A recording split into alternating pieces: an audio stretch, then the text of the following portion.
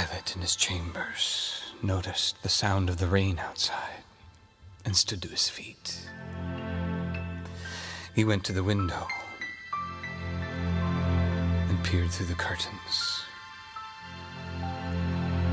And there, in the distance, he looked out over his safe marble railing past the wall to that distant hill outside the gate where it was now happening. The man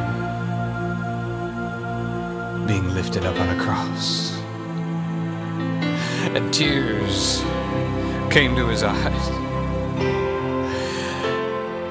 And he stepped out into the rain.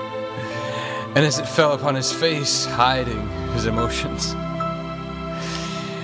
the earth shook beneath his feet. And he called out. He was a king. You are killing your king. The darkness covered the land, and he hung his head, and his thunder rolled around him. He knew that not only had they condemned themselves, but they had condemned us all.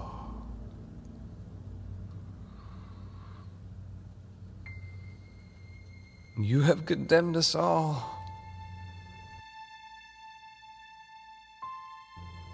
He walked away. I tried. I tried to save him. I tried, but they wouldn't. They wouldn't let me. But I tried. And he disappeared darkness.